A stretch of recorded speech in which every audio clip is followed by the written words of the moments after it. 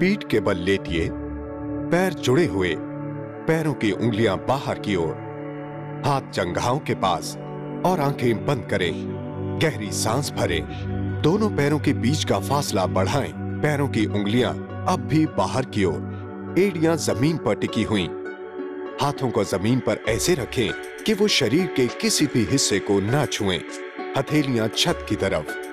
सांस छोड़ते समय शरीर से सारा तनाव रिहा करने की कोशिश कीजिए।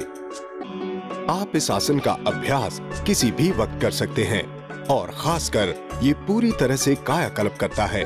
पीठ के बल किए हुए सारे आसनों में शवासन ही शिथिलता प्रदान करने वाला आसन है।